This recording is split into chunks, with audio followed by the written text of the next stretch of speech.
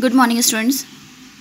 Uh, I have given you the definitions of pronoun, and these exercises also I have given you.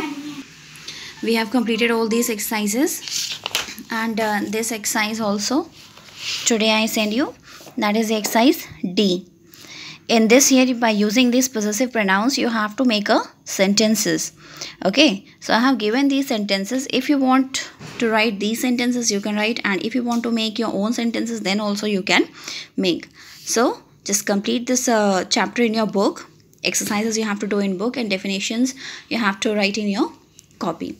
Now the next assignment that is uh, the check your progress one.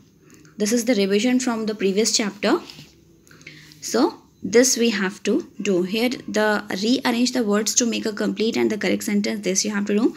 And this one write whether the given sentence is a statement or a question or a command or the request.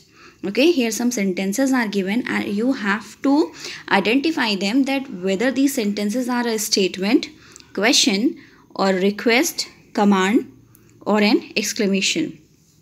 Okay so see the first one. Please move to that chair so what it is? This is a, statement, question, command, request or exclamation. This is a request. Okay. This is a request. Later on I'll send you the PDF also. A peacock is a beautiful bird. Simply the sentence it states something. So this is the statement. Okay. This is the statement. May I make a call from this phone, telephone?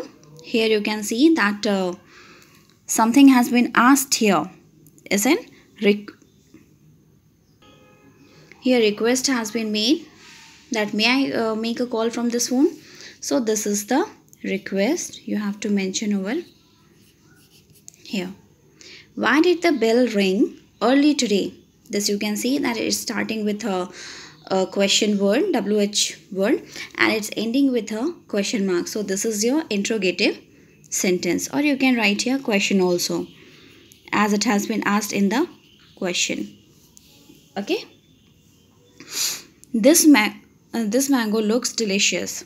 This mango looks delicious. It's simply a statement. So you have to write here statement. Next one. What a lovely day.